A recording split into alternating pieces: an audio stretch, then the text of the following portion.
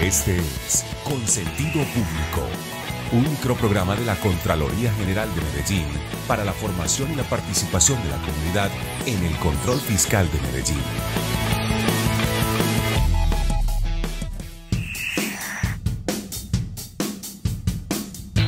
Hola, soy Manuela Esteves y los saludamos desde el corregimiento de San Cristóbal. Desde aquí iniciamos esta nueva entrega con Sentido Público, un programa de la Contraloría General de Medellín, para que conozcamos más de la gestión y el aporte al desarrollo de la ciudad. Bienvenidos. Ahora nuestros titulares con sentido público. En la Crónica Dorada, un joven del corregimiento de San Cristóbal nos cuenta cómo fue su experiencia como contralor escolar. En Lupita te cuenta, más de 800 jóvenes aspirantes de colegios públicos y privados de la ciudad se preparan para su jornada de elección popular de contralores escolares. Esto y mucho más con sentido público. Bienvenidos. Para Juan David, haber vivido la experiencia como contralor escolar quizás no le cambió la vida, pero sí cambió su visión de cómo se invierten los recursos públicos en su colegio. Hoy en la Crónica Dorada, este niño de 12 años nos cuenta cómo cambió su balón de baloncesto y la televisión por el compromiso frente a sus compañeros e institución. Crónica Dorada. En mis ratos libres me gusta dedicarme a la música, al deporte, al entrenamiento. Eh, un controlador escolar es velar por los recursos que tenga la institución, que se estén manejando de la manera adecuadamente, que las pinturas, los recursos de la escuela sean de la mejor calidad, que el director esté pendiente de lo que esté saliendo y el control también de lo que está saliendo, de lo que está entrando, de cómo se está manejando la plata. Mis campañas fueron seguir de hacer tertulias de saberes, cineforos, de ayudar a que también ellos se den cuenta cuánto entran en la, en la escuela, cuánta plata entra, cuándo se va a pintar la escuela, de qué pintura es. Para nosotros es muy importante la figura del Contralor Escolar.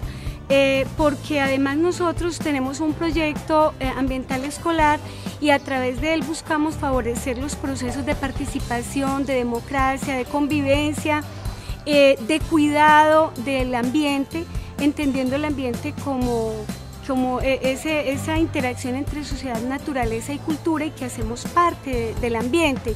El consejo que yo les daría que si sigan y que estén cuidando los recursos, que no se dejen de ser pues por las perezas con algunos que, ah, que qué pereza ir por allá, o no sé qué, que, se, que miren qué es lo que están haciendo. Para Juan David las cosas no serán iguales porque su desempeño como contralor escolar no solo le dio bases para expresarse en público, ser líder para sus compañeros, sino que llenó de orgullo al colegio, demostrando que los jóvenes son importantes en el diseño de los planes de las instituciones y que cuando existen ganas se puede llegar hasta donde nos lo propongamos. Juan David Cataño en nuestra Crónica Dorada. ¿Sabías que el programa de Contralores Escolares ya arroja resultados importantes para las instituciones educativas como ahorro en energía, agua, implementación de campañas ecológicas, recursos para campañas de reciclaje, además de crear cultura entre los jóvenes de las instituciones educativas por el cuidado de lo público? Cabe resaltar que ya está matriculado como experiencia exitosa de participación ciudadana en la OLACEF. Lupita cuenta. Hoy es el Día de la Democracia en todas las instituciones educativas de la ciudad para la elección de contralores escolares, personeros y representantes estudiantiles. Más de 800 jóvenes aspiran a ser contralores escolares para contribuir con el ente de control al buen uso y cuidado de los recursos de sus instituciones. Los elegidos se posesionarán en un acto especial que la Contraloría realizará el próximo 26 de marzo.